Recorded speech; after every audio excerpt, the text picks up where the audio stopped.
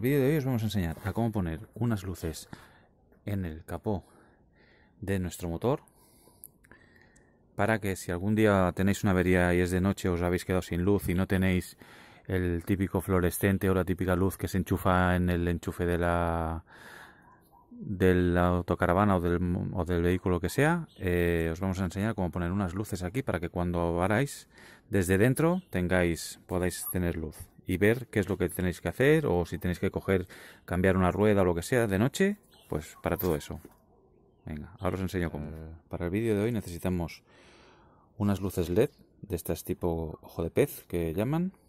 Eh, las podéis encontrar por, por internet, son muy muy baratas ¿vale? Y lo que nosotros haremos será, pondremos dos, pondremos una aquí y pondremos otra aquí, porque esto nos alumbrará toda esta zona de aquí del motor y esta nos alumbrará toda esta zona de aquí del motor. Eh, a lo mejor piensas que es una tontería, pero si te pasa cualquier día una avería de noche y no tienes luz eh, y tienes que estar con el teléfono, eh, va muy bien. Bueno, pues vamos a, pasar los cables, que los cables los pasaremos por dentro de los agujeros estos del, del capó.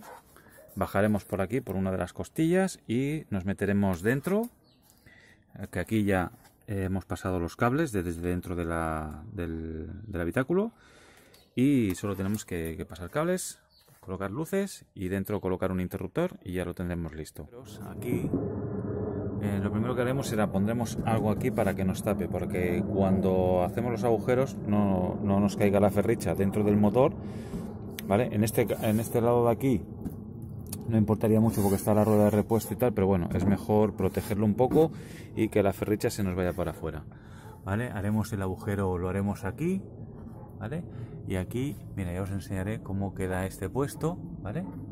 Que no sobresale mucho, es muy poquito y cuando, cuando cerramos el maletero, el, capó, nos queda en la parte de aquí adentro. O sea que no nos molesta ni para cerrar ni nada.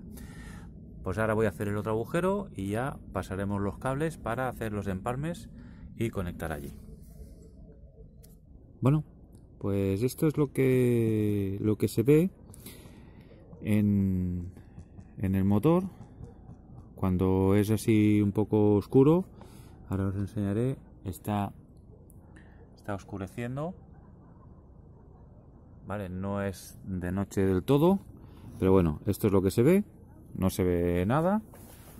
Y ahora vamos a abrir las luces para ver cómo, cómo se ve con las luces que hemos puesto en el motor.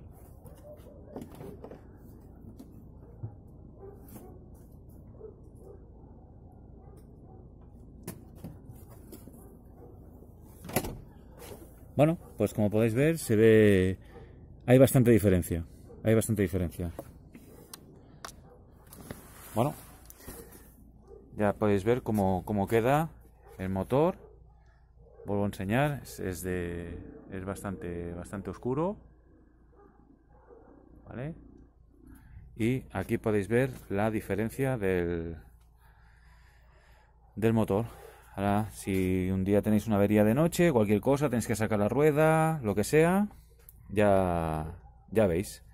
Mira, hemos peinado los cables por aquí, como os he comentado antes, los hemos pasado por aquí dentro y por el hueco del, del capó hemos pasado y hemos conectado las luces. Aquí podéis ver, son dos, dos luces LED tipo ojo, ojo de pez. Y bueno, pues ya lo veis, ya sabéis, es un brico bastante, bastante fácil, rápido y bueno, pero, pero de mucha calidad ah, y de mucha ayuda. Venga, espero que os haya gustado. Venga, nos vemos. Por cierto, se me había olvidado comentaros de que estas luces están alimentadas con la batería secundaria. No están alimentadas con esta batería. Entonces, aunque tuvierais un problema con esta batería, que os pasara cualquier cosa, eh, seguiríais teniendo luz, porque están cogidos los cables, están cogidos de la batería secundaria, para, para eso, para evitar el problema de que os quedéis sin batería y no podáis ver aquí qué es lo que pasa. ¿Vale? Pues venga, ahora sí, nos vemos.